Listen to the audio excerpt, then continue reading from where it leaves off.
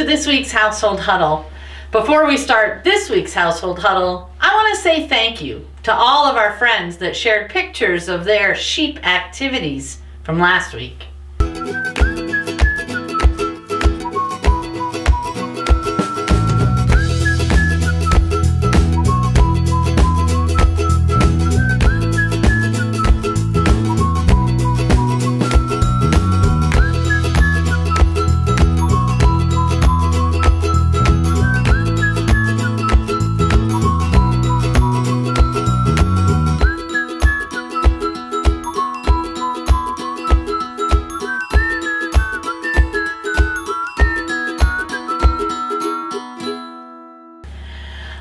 Awesome job, everyone. Okay, now before we jump into this week's story, let's take a minute to remember the four steps in a household huddle. Do you remember what they are? Breathe, share, reflect, and thank. Okay, so where do we begin? That's right, we breathe. So let's take a deep breath together. Okay, and what do we do after we breathe? That's right, we share. Now, you might want to pause the video for just a minute to share a joy and a concern with your household huddle because we're going to jump right into the story.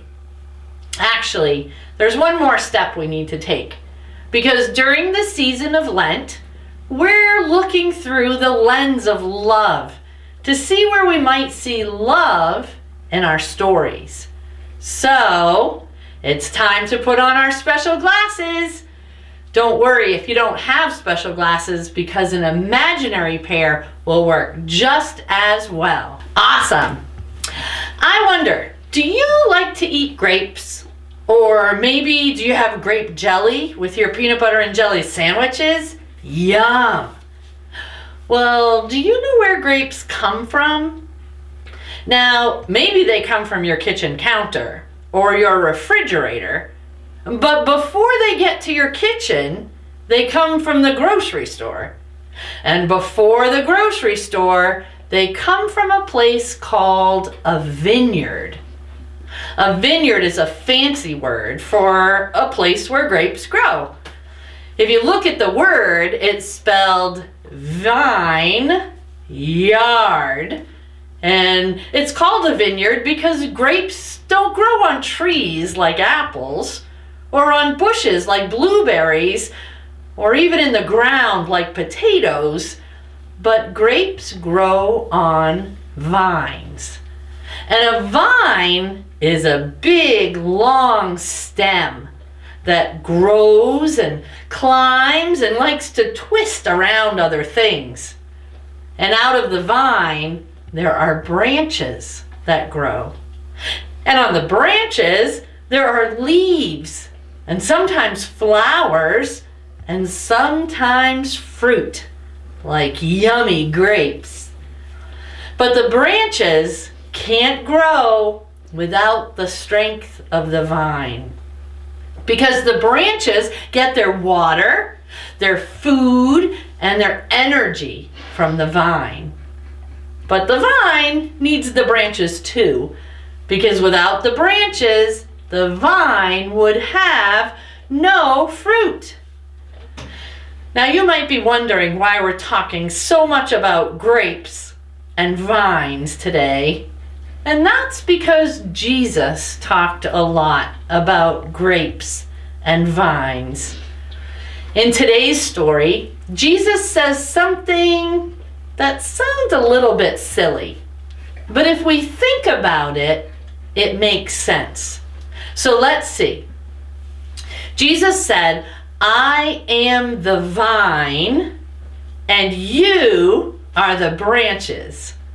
See, I told you it sounds a little bit silly, but let's keep going. I am the vine, and you are the branches. Like the branches on a vine, as long as you stay connected to me, you will do amazing things.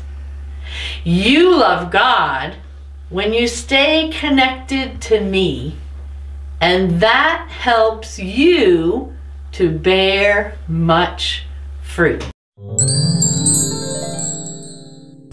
Okay, so we took our breath and we shared. What comes next? Yes, it's time to reflect. Now, when we reflect, we think about the story. So maybe you want to talk to your huddle about a few things. What kinds of things are you connected to?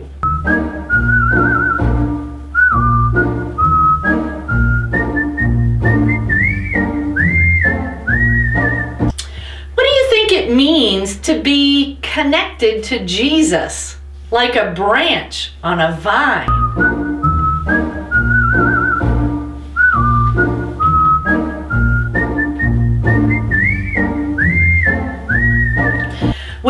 Love God and stay connected to Jesus, what kind of fruit do you bear? And what kind of amazing things can you do?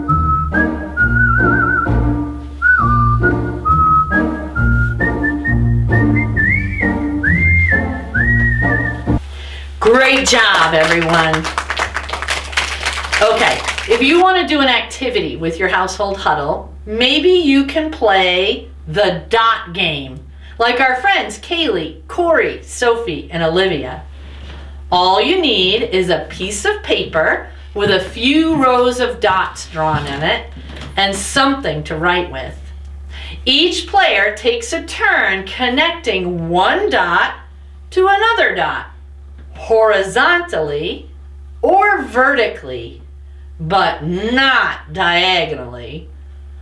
Only one person draws a line at a time, and after a while, the page will begin to be filled with all kinds of horizontal and vertical lines, some connected and some not.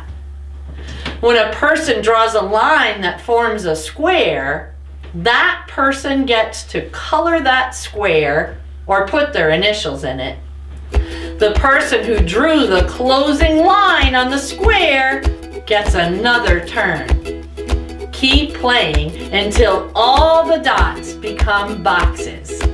The person with the most boxes completed at the end is the winner. But no matter who wins, have fun connecting the dots, remembering how important it is for the vine and the branches to stay connected. Great job, girls. Okay, and what's the last step in a household huddle? That's right, thank. And this week, I'd like to thank all the vineyard workers that grow grapes and package them to be shipped. I'd also like to thank the truck drivers that bring them to our grocery stores and our produce professionals that make them available for us to buy.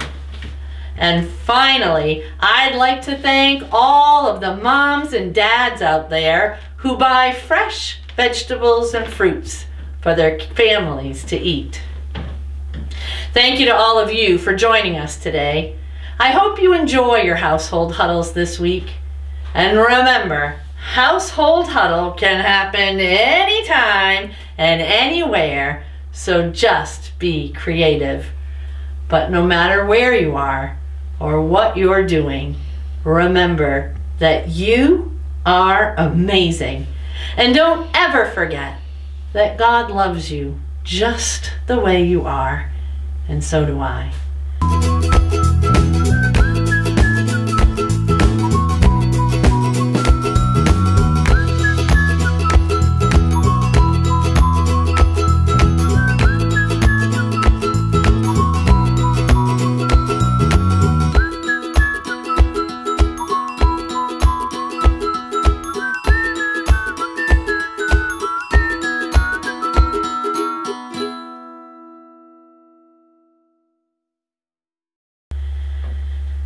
If you'd like to share a picture of your dot game to be part of next week's Household Huddle video, you can email them to Pastor Kelly at oldtownucc.org.